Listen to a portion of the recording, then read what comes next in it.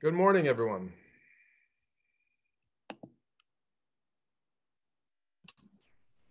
Good morning.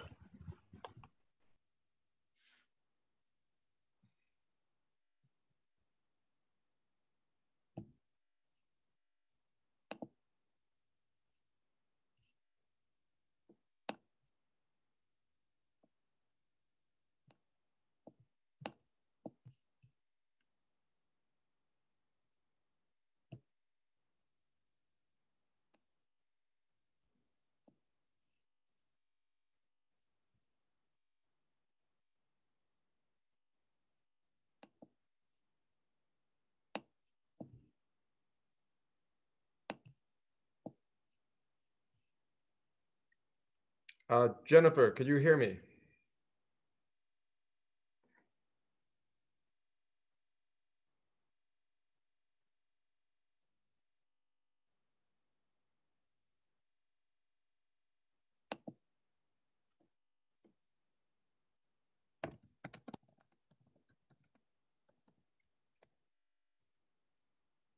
Okay.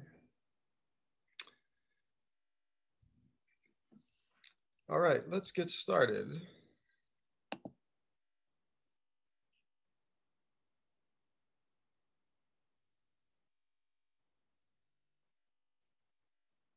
And so, uh, welcome to the, the last week of the semester. Uh, the plan here is to cover sections 8.2, 8.3. Now,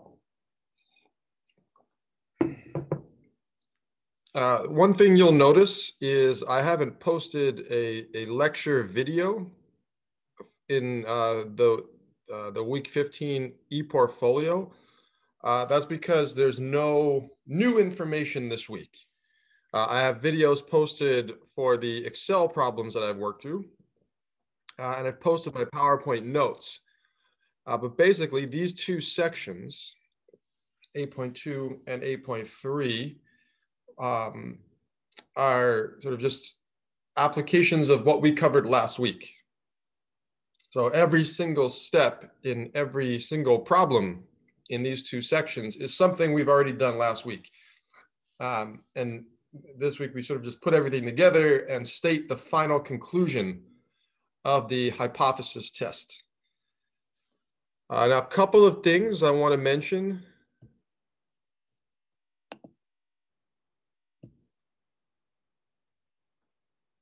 So on MyMathLab, you'll see uh, there are two, two homework assignments for this week. Uh, I didn't post the videos on MyMathLab, but they're posted on my ePortfolio. So of course, you could, as always, you could access them there. Um, I decided not to have a chapter eight quiz since we're just doing chapter eight now and we're about to take an exam on that. So I don't think we need a quiz and an exam you know, back to back. And when you when you look at your grade book on MyMathLab, you'll see that uh, the lowest quiz grade has been dropped. So I mentioned a couple weeks ago that I'd be dropping the lowest quiz grade. So that should now be reflected in your uh, in your My Math MyMathLab gradebook. So before uh, before we uh, work through a problem or so, uh, are there any questions at all from 8.1? Because basically, whether or not this week is going to be difficult depends entirely on how you feel about last week's material.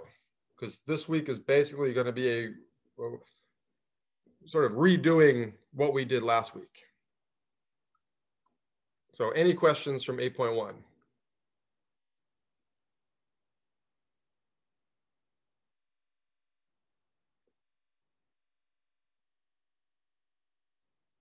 Okay. So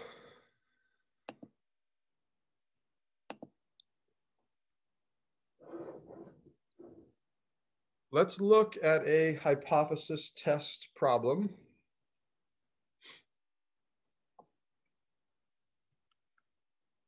Now, you know, before we do this problem, one thing I want to mention is that you know, obviously you're going to see problems like this on the exam, multiple problems like this on the exam. Now, when you see them on the exam, they're going to be more difficult than when you see them in the homework. Excuse me.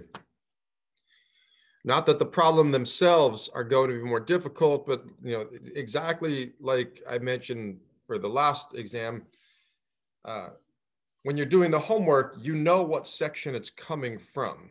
So when you're doing the 8.2 homework, you know every one of those problems is about the proportion. So you don't have to worry about deciding what type of problem it is. And when you do the 8.3 homework, every problem you know is about the mean because 8.3 is about mean. Uh, now, when you see these on the exam, you won't know if it's a hypothesis test coming from section 8.2 or 8.3. So you'll have to be able to, to determine if it's a proportion hypothesis test or if it's a mean hypothesis test. So if you see if you see information or data given about a percentage, remember percentage and proportion, those two terms are, are interchangeable. So if you see percentage, that is the indication that it's a problem about the proportion.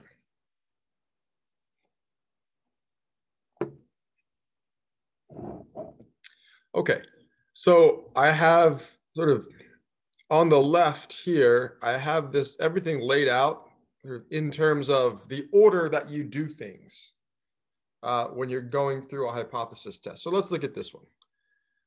You know, based on the information from the National Cybersecurity Alliance, 93% of computer owners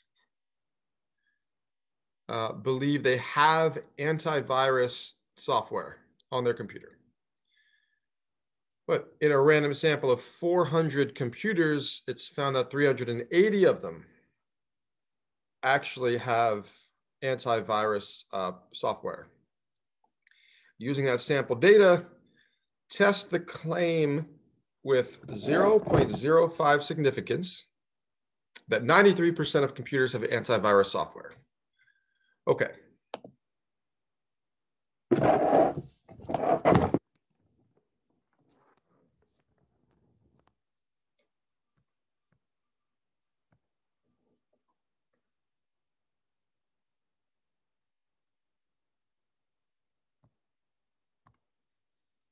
So we're starting with this, identifying the claim that we're that we're testing. So test the claim with 0.05 significance that 93% of computers have antivirus software. So this is the claim that we are testing. The proportion of all computers with antivirus software is 93% or 0. Point, not 3, 0.93. Okay, so that's the claim that we're testing. That's the first thing you do. Hopefully all of this is looking familiar because this is also what we did last week. Once you have your claim, that allows you to set up your null and alternate hypotheses. Null hypothesis is always a statement of equality. So again, P equals 0.93 would be your null hypothesis. And in this case, your alternate hypothesis would be P is not equal to 0.93. Remember, you're, you're, you have only one option for the null hypothesis. That's an equal sign. You have three options for your alternate hypothesis. It could be less than, greater than or not equal to. Those are your three options for your alternate. Looking at the problem, there's no mention of inequalities. There's no, you don't see words like more than, less than, at least, at most, greater than, less than. Uh, so there's, there's no mention of an inequality there. So we're going to use not equal to for the alternate hypothesis.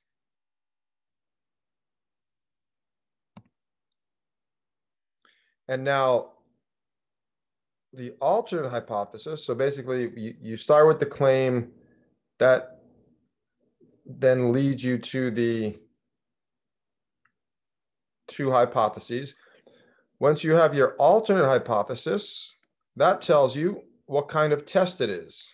Right tail, left tail, or two tail. In this case, since the, the symbol used in the alternate hypothesis is not equal to, it's a two-tailed test. So the critical region that's split halfway between the two tails.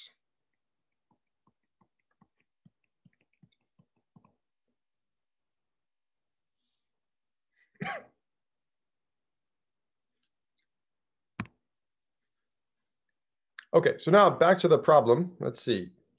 93% of computer owners believe they have antivirus software installed. Okay, in a random sample, a random sample of 400 scanned computers.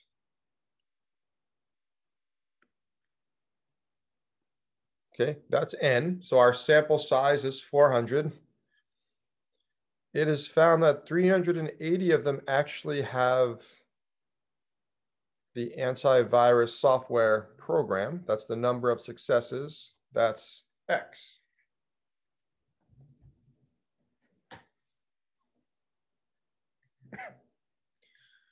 So we could go over here. So I'm using yellow for cells where I have to manually type the number in that's given in the problem. And blue is the cells that where Excel is going to do something for me. So X is 380, N is 400. okay, so our sample proportion, P hat, is equal to X over N. So that should be equal to uh, this cell here, which is B13, divided by cell B14. So that's equal x over n. Okay, so our sample proportion is 95%. So our sample proportion is not equal to 93%, which leads us to believe that maybe we might be rejecting the null hypothesis the population proportion that we're assuming that's given in the problem, that's 0.93. And Q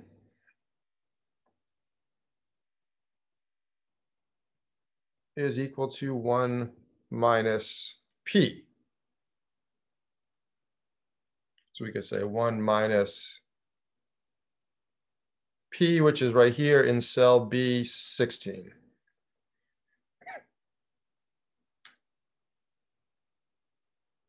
And the significance that's given in the problem. That's 0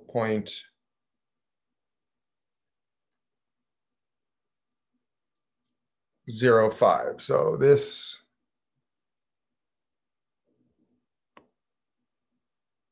is alpha. 0 0.05 significance. Remember, alpha, alpha is your significance.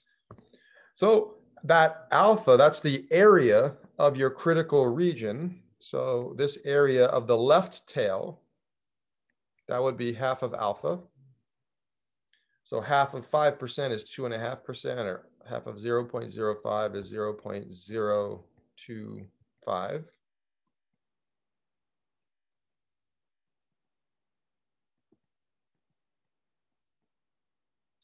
Now we need these critical values.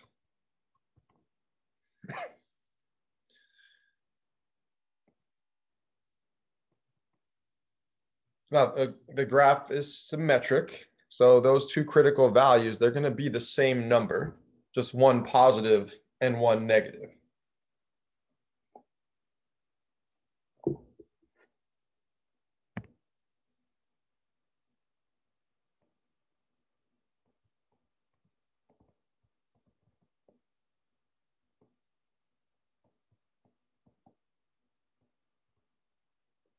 Okay, so we use the, the same normal distribution Excel functions that we've been using since section 6.1. So to find a z-score, if you know the area to the left of that z-score, it's norm.s.inv.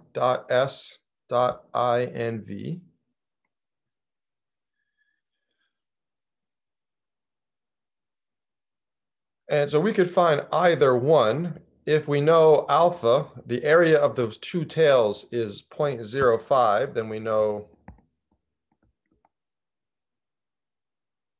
the area between them is 0.95. So if we wanted to find, let's say, I mean, we could find either one, but if we wanted to find, let's say, this critical value here, well, the area to the left of this critical value would be 0.975 because you have the nine the, the 95 in the middle and the other two and a half on the left. So that's a total of 0.975. Okay, so our critical values equal norm dot s dot inv and probability means area to the left. So we could use 0.975.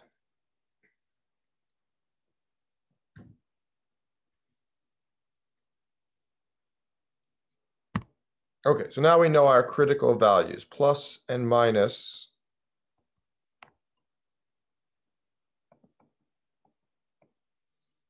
one point nine six.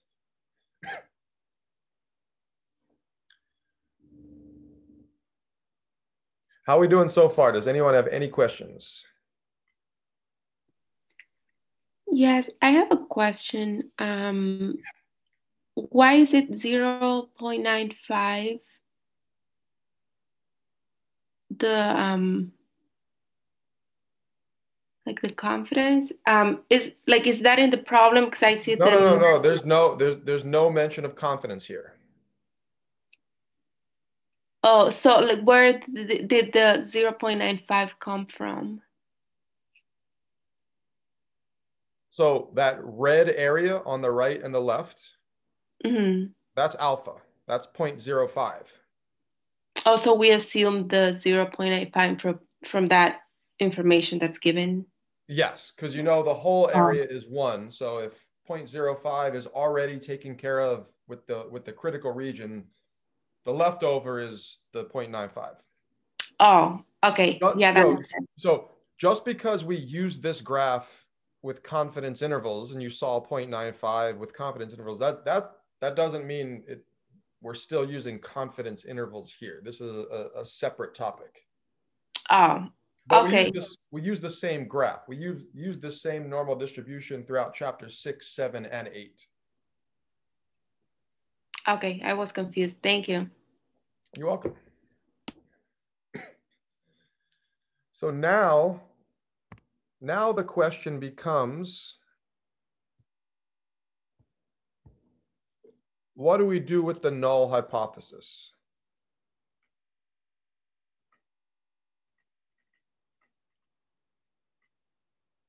Oh, what happened?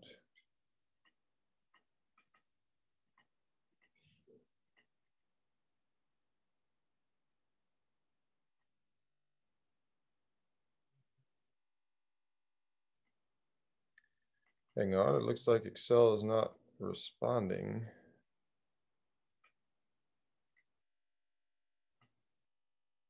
Well.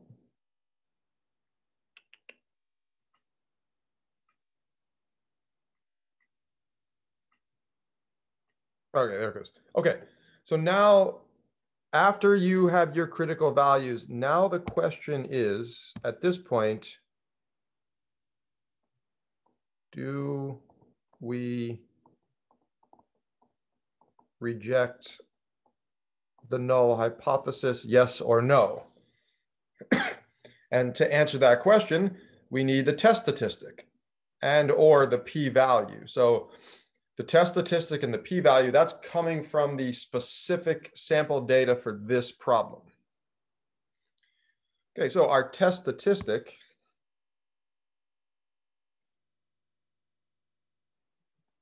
is equal to the difference between sample and population proportions divided by the standard error, which is P times Q over N square root. And so that's for, for the proportion, that's our test statistic. And I'll use parentheses in the numerator just so Excel does the things in the order that we want it to do.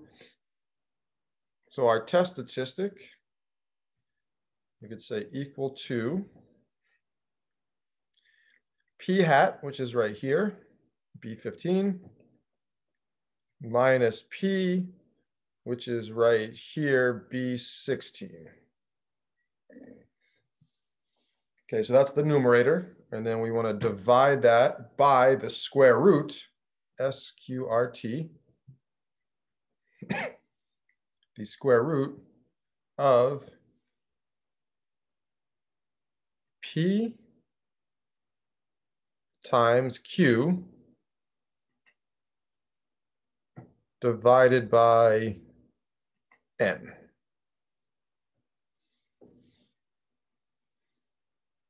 So we have P, Q, P hat, and N in this formula, and we have those four values above.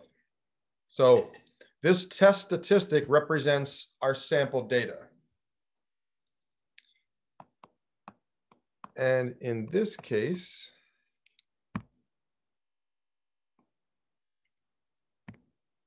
our test statistic is maybe about right here.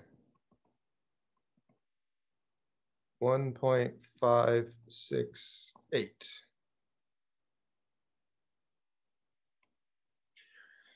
So because our test statistic does not fall within the critical region, that tells us we fail to reject the null hypothesis.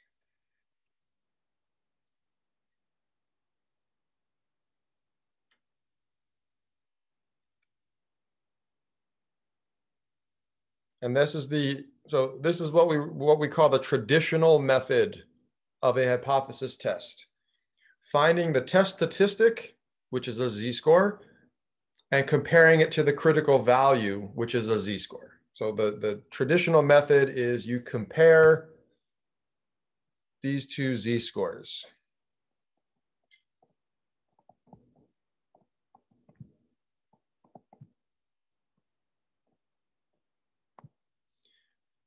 There's also the p-value method, where you compare the p-value to alpha.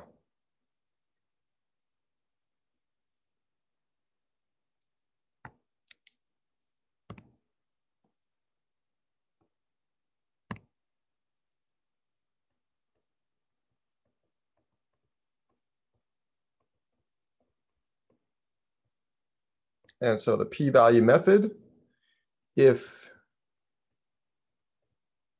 the p-value is greater than alpha,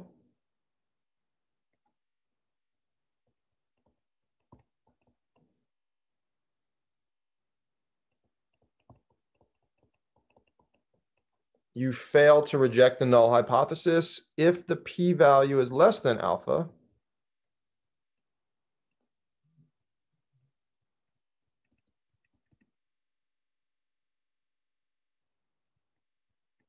then you reject the null hypothesis. So this is the p-value method. And in this case, to find the p-value, p-value is an area because alpha is an area, p-value is an area. With the p-value method, you're comparing two areas. and so for our p-value, we need this area here, the area outside the test statistic.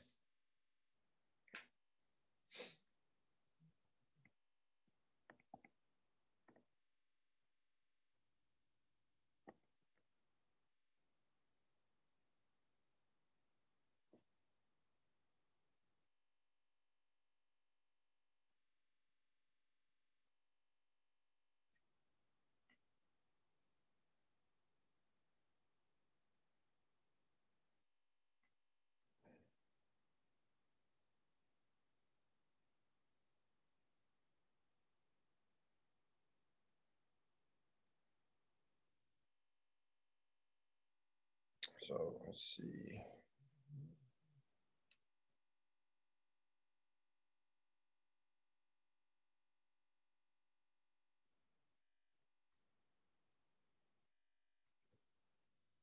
Okay, so for that area, we're going to use equal to 1 minus because Excel could give us area to the left. We want area to the right. So this is where we use the complement 1 minus norm dot s dot dist. We're using this function.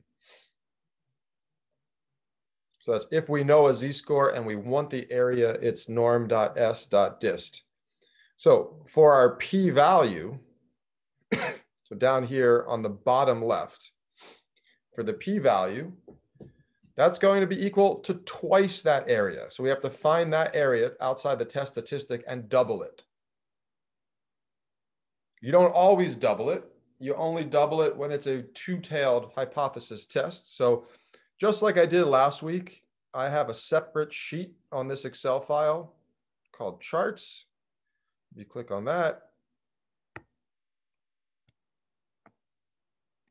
let's get rid of this stuff.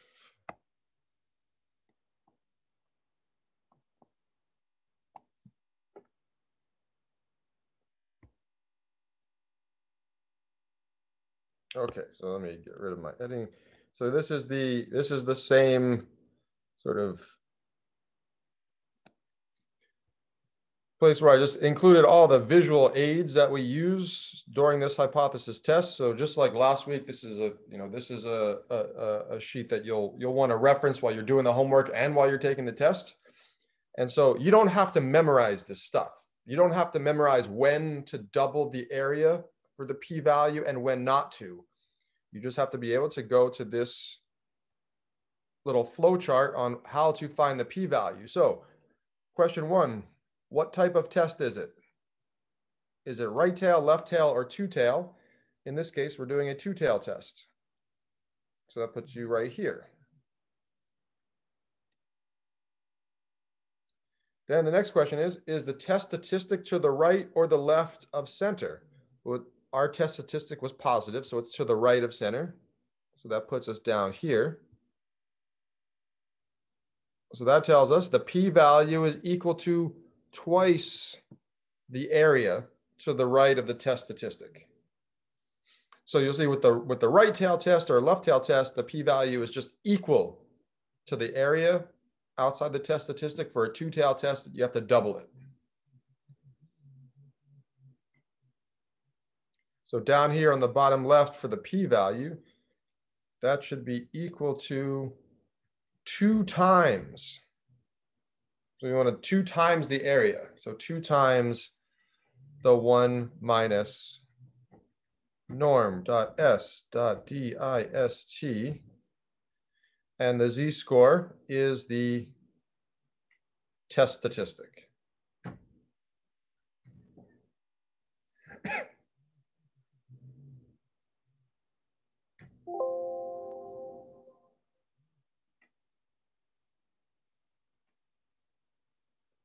So in this case, our p-value is 0.117, which is larger than the significance. So again, the p-value method told us to fail to reject the null hypothesis. So with the p-value method and the traditional method, it's two ways of doing the same thing.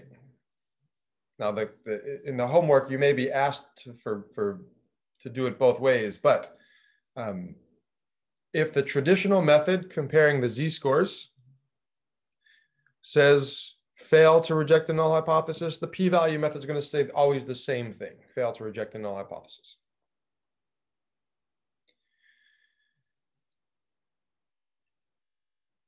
And now this is, so this decision to fail to reject the null hypothesis, and I mentioned this last week, this is this is not the end of the problem. This is the this is the step before the last step.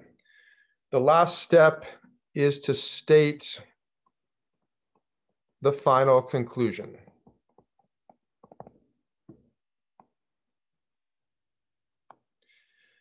And there are four options for the final conclusion, you have to pick the right one. But again, these and this is not something you have to memorize. You go back to the chart, in this case, the one on the bottom right, stating the final conclusion. So question one, does the original claim contain the condition of equality? In this case, yes. The original claim was P equals 0.93.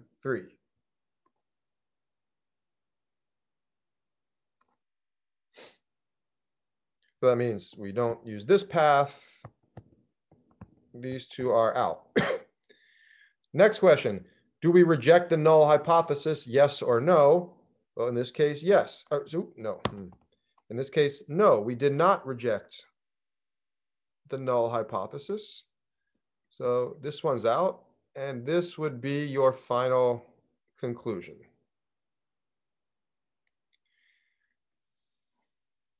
Even though the sample proportion was different than 0.93, it's not different enough. We can't reject the claim. So our final conclusion for this problem would be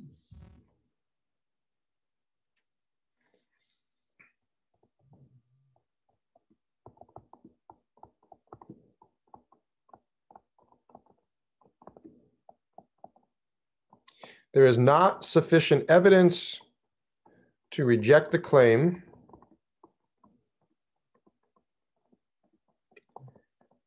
that P equals 0.93. So that would be, excuse me, that would be the final conclusion.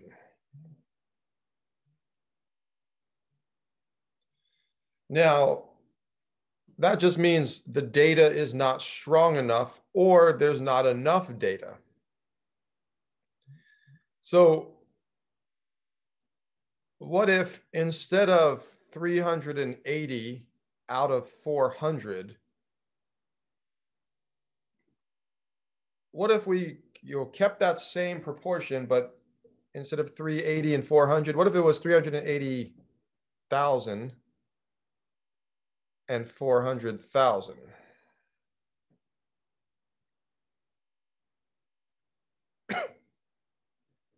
well, you still have the same 95% for your sample proportion, but your test statistic is much, much larger now. So with more data, you could get to a point where you reject the null hypothesis. But in this case, the test is inconclusive because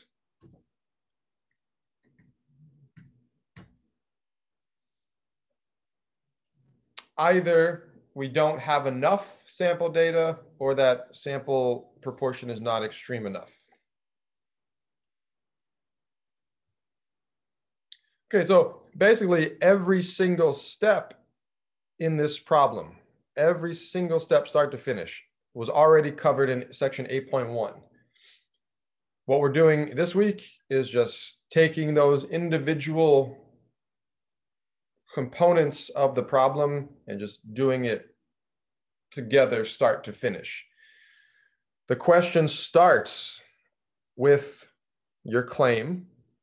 So the first thing you do is represent the claim symbolically. In this case, P equals 0.93 the very last thing you do is down here in the bottom right, state the final conclusion. So this is a full hypothesis test.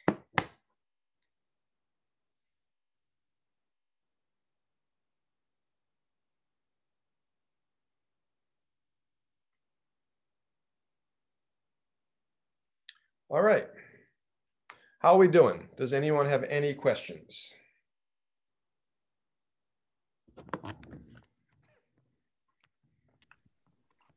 I have a question, but it's about the quiz. Okay. Should I ask it now? Yeah, yeah, that's fine. Oh, okay. Uh, yeah, so I I didn't know like which formula to use, so that's gonna be question um, 12 in the quiz. Well, first of all, which which quiz are you talking about? Oh, the last one we just took. Sorry. Yeah. The chapter That- seven quiz. Chapter seven. Yes.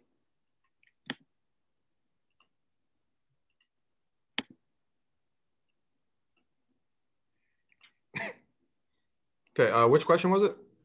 Uh, seven. Um, sorry. I think it's not seven. Uh, just a second. Um, 12.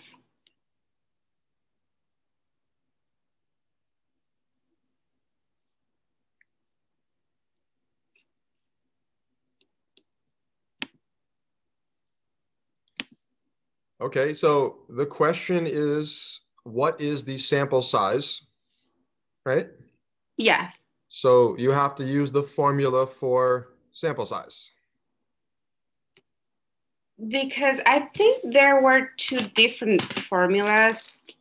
There's always Uh, two formulas because we've always been covering two different statistics. We've been covering proportion and we've been covering mean.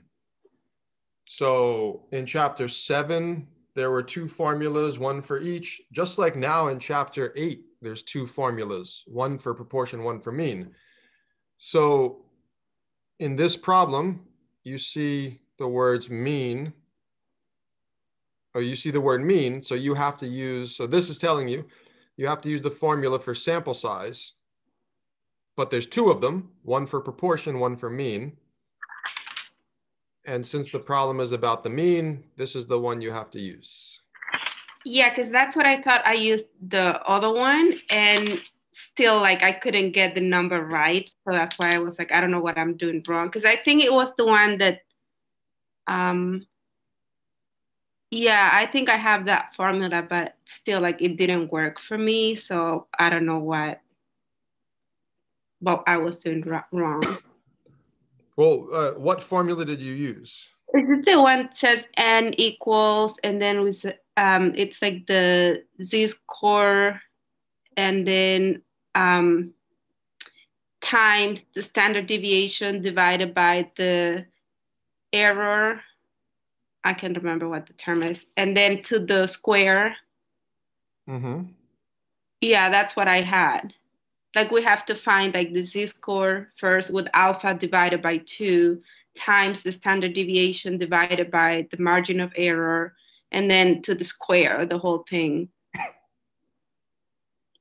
But like I said, I I couldn't get it right. So I I I thought maybe it wasn't the right formula. Um, no, that's that's definitely the right formula.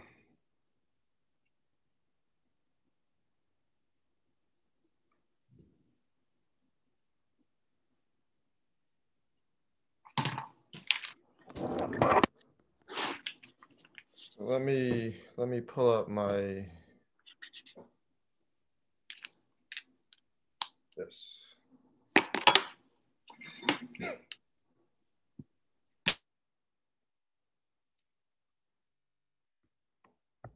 So the formula that you you said was z score squared times standard deviation squared divided by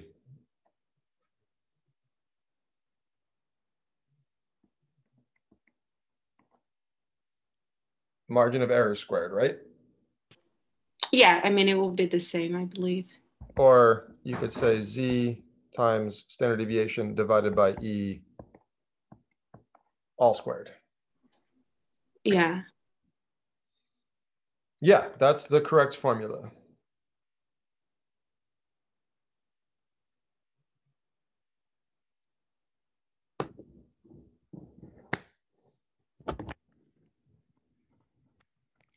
I, I, can't answer your question. I, I, I can't tell you what you did wrong unless I see your work.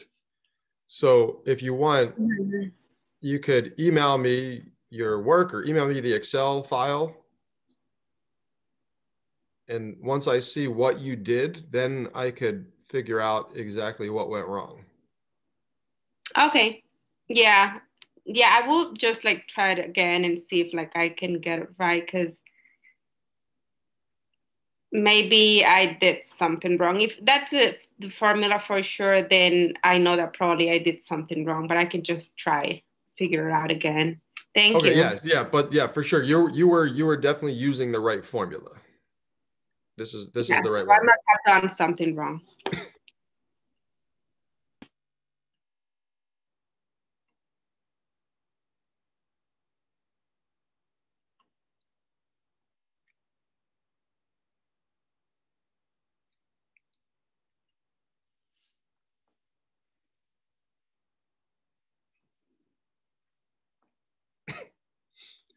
Okay. Uh, anything else? Any other questions about chapter seven, chapter eight, upcoming exam, extra credit project? Any questions at all?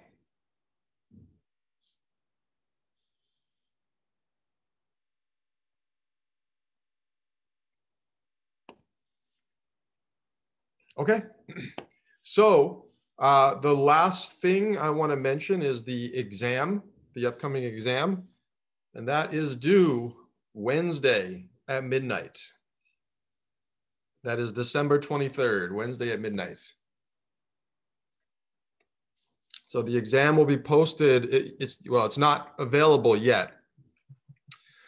Uh, the homework for chapter eight is due Sunday night at midnight and then at Sunday Sunday night at midnight, then you'll see the exam pop up on MyMathLab.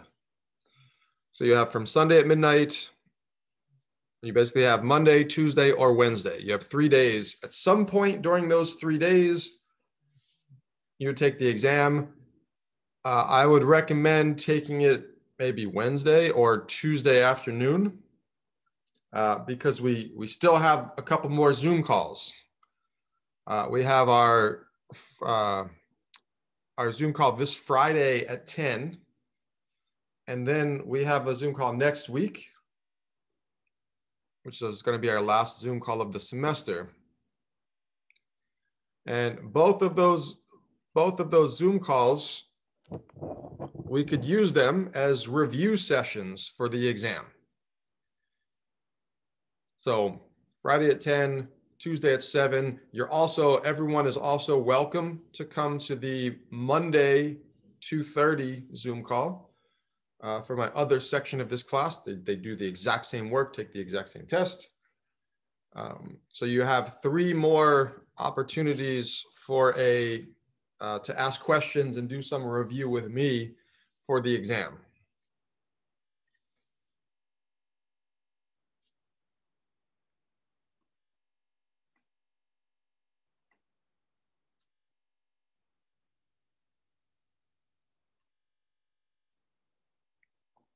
Um, okay. So if there's no other questions, uh, we could go ahead and end the call. Good luck with uh, week 15, finishing up our, our final week of the semester. Hopefully this week won't be too bad, uh, you know, assuming that you made it through last week okay. All right, Okay, thank- everyone. Thank you. You're welcome. Have a great week, everyone. Thank you.